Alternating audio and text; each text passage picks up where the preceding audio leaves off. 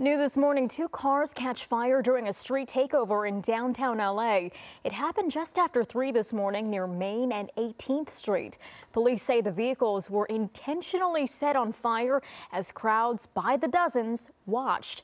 As soon as police arrived, the crowds dispersed. No injuries were reported and no arrests were made. Hello, I'm Mark Brown. Get more great ABC7 content by clicking the subscribe button for our YouTube channel and download the ABC7 Los Angeles streaming app on Fire TV, Android TV, Apple TV, and Roku to watch on your TV.